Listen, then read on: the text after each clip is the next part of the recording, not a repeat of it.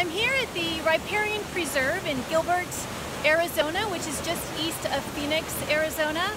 And behind me is a pumping station that takes reclaimed water, which is treated wastewater, and it pumps it into ponds to soak back into the ground to be reused later as drinking water.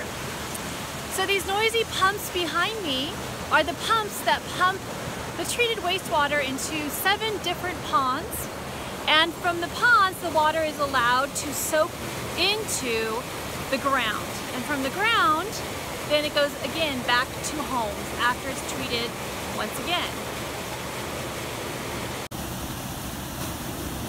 So treated wastewater ends up several stages of treated wastewater. And then it goes into these ponds in this marsh where it's allowed to soak into the ground so these are recharge bas basins. And then from there, eventually it'll be pumped out of the ground to water treatment plants and then back to homes and businesses and schools.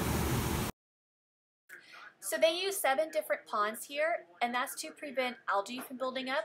So a pond is filled up, and then it's allowed to completely soak into the ground before it's refilled back up. So each of these seven ponds are in various stages of recharge.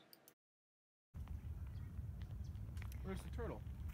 Another pond at the Riparian Preserve. So again, this is treated wastewater. And so they fill these ponds with reclaimed water, treated wastewater, and they allow the ponds to soak in to the water to recharge the aquifers underneath and then they will uh, eventually pull water out of those aquifers, treat it again for drinking water. Here's another one of the treated ponds. So and so this pond looks like it's about halfway soaked in. And then once it's soaked in all the way, they will refill it.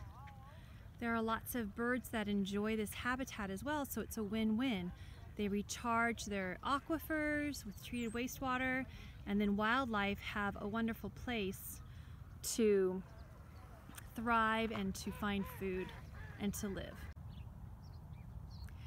This is a pond where there used to be reclaimed water and it has soaked into the ground and has become groundwater.